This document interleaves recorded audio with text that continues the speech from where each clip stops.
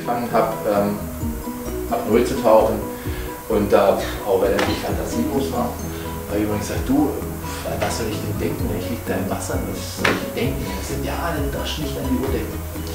Da habe ich gedacht, okay, nicht an die Uhr denken, nicht an die Uhr denken. irgendwie hat das nicht funktioniert. Keine Ahnung warum.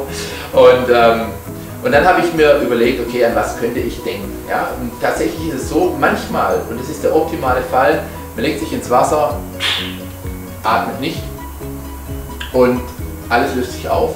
Also mehr atmet man im Brustkorb und Bauchatmung nein, die Bauch atmet heutzutage wie kein mehr. Und dann merkt man auch, dass der ganze Bauch sich meldet.